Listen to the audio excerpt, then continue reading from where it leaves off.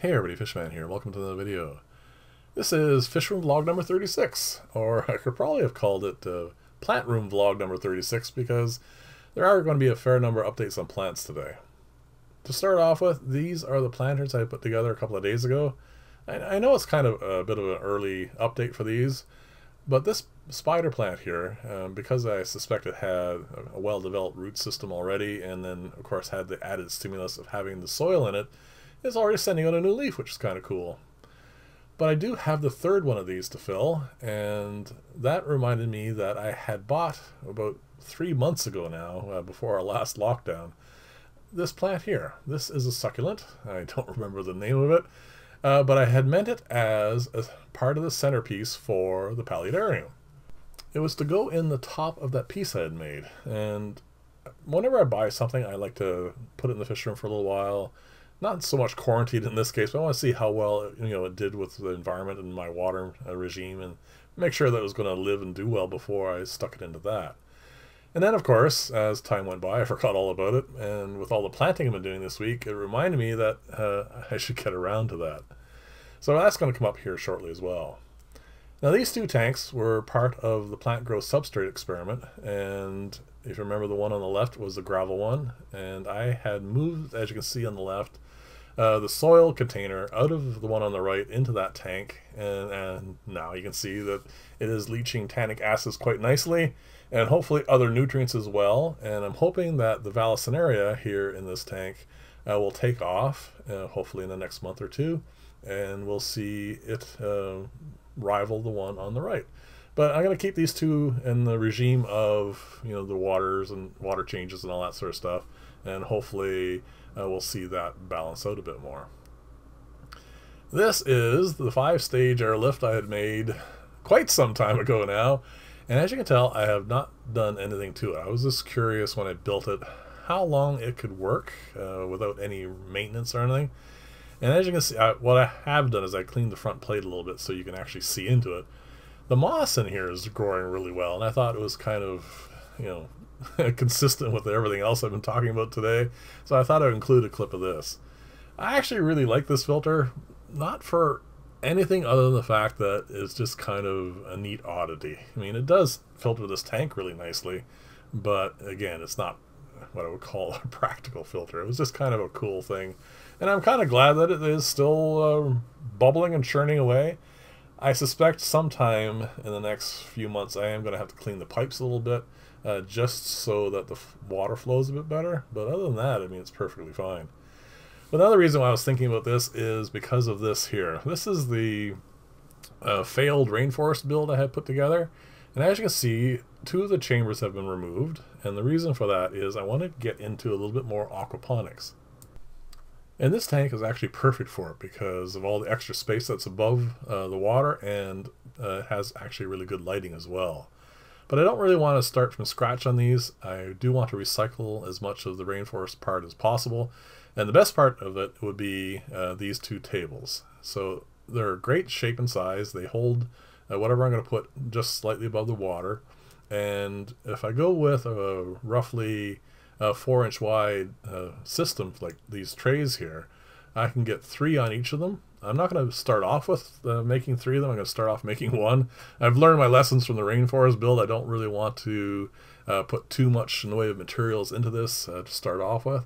So I'm going to build one tray. I'm going to put one or two planters in it. I'm going to run some water through it and see how well uh, they grow. And then I'm going to go from there. And I have watched a few videos about it and I have come up with, uh, well, my own version of some of them. But that's probably going to be for, like I said, Wednesday's video, and uh, we'll get into more detail on that at that point. So this is the succulent, and I was actually kind of surprised at this, because I had actually thought when I pulled this apart that it would be a little bit different inside than it was. Uh, but I do remember a little bit about succulents uh, from years ago, and they don't really develop a whole lot of roots. Uh, that's what I found out here once I started trying to pull this apart. I was expecting it to have a little bit more of a root ball and I was going to have a little bit more of a struggle trying to get it uh, separated. And then it just started crumbling and then I was left with a very tiny little bit here in the very end. Here we go. And that is all there is for this whole plant. And I thought, wow, that's kind of tiny. And then I realized as I started separating this, this isn't a plant. Uh, this is five plants, and all they are is just stems, and they just came apart very easily, as you can see here, especially the one on the left. It's just, like I said, these are just individual stems, and uh, they were just stuck in a pot, and they managed to grow to look like a plant, but that's all there is to this.